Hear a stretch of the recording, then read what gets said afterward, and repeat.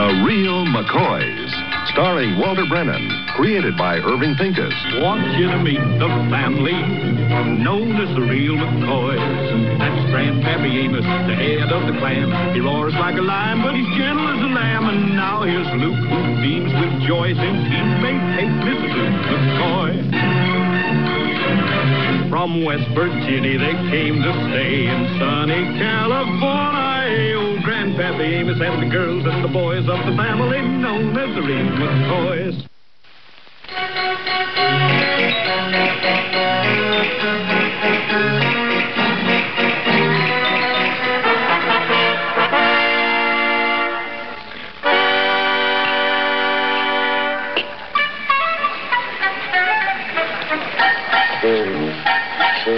These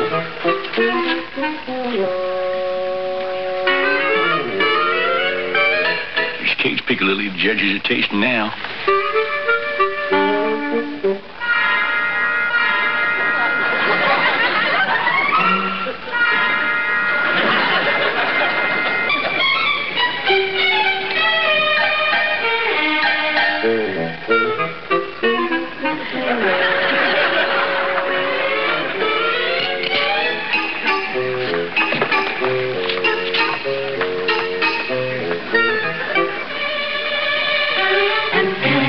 Grandpa?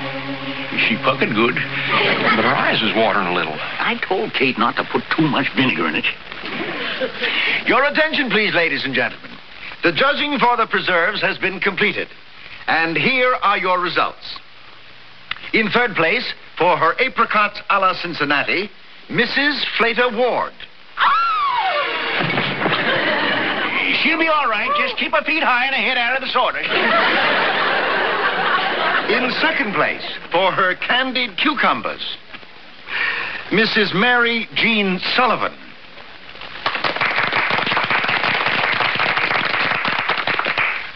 And now the moment you've all been waiting for.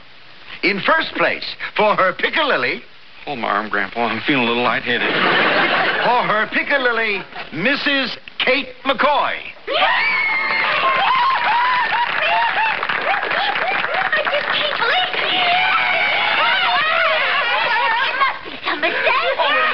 No Sugar Babe. You won her fair and square. Now maybe you'll believe us when we tell you you make the best Piccalilli in the whole world.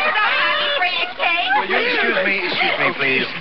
Mrs. McCoy, on behalf of Prize Foods Incorporated, here is your first place ribbon.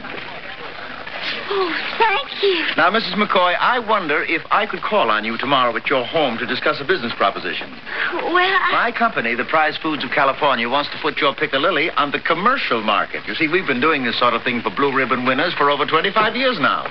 Eh, oh, You mean on, on store shelves? Exactly. And it will be worth your while financially. Uh, now, ain't you glad I talked you into entering? Mrs. McCoy, what time tomorrow would it be convenient? Uh, about noon, perhaps? We'll be there. Well, I'll see you then. And again, Mrs. McCoy, congratulations. Thank you. well, Kate, now what do you got to say, huh?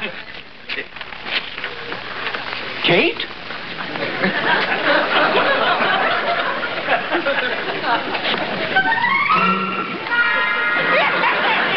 Like you're smelling money to bring your body around.